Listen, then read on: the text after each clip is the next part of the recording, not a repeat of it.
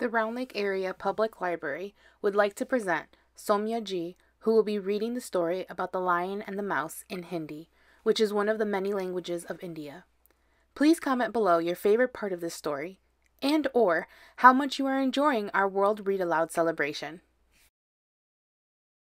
Hello everyone आज की कहानी है शेर और चूहा एक बार एक शेर अपनी गुफा में सो रहा था तभी एक चूहा कहीं से आया और शेर के ऊपर कूदने लगा, जिससे शेर की नींद टूट गई। शेर को चूहे पर इतनी ज़ोर से गुस्सा आया कि उसने उसे अपने पंजे में जकड़ लिया और उसको मारने की सोचने लगा। चूहा बहुत डर गया और उसने कांपते हुए शेर से कहा, हे शेर राजा, आप मुझे माफ़ कर दीजिए, मुझसे बहुत बड़ी भूल हो गई है। अगर आप मुझे जाने देंगे तो आपका उपकार होगा। और आपके इस उपकार को मैं वक्त आने पर ज़रूर चुका दूँगा। यह सुनकर शेर को चूहे पे दया आ गई और उसने उसे जाने दिया।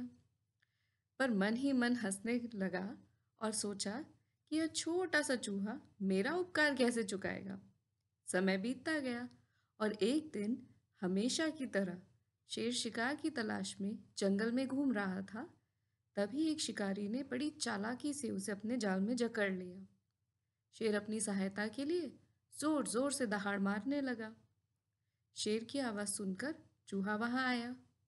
शेर को जाल में फंसा देखकर उसने तुरंत अपने नुकीले दांतों से शिकारी का जाल काट दिया और शेर को आज़ाद कर दिया। शेर ने चूहे को बहुत बहुत धन्यवाद दिया। उस दिन शेर को समझ में आया कि किसी भी प्राणी की काबिलियत उसके भारी भरकम रूप से नहीं करनी चाहिए और कभी छोटे बड़े का भेदभाव नहीं करना चाहिए। हमेशा सबकी मदद करनी चाहिए, क्योंकि जो दूसरों की मदद करते हैं, सब उसकी मदद करते हैं। धन्यवाद।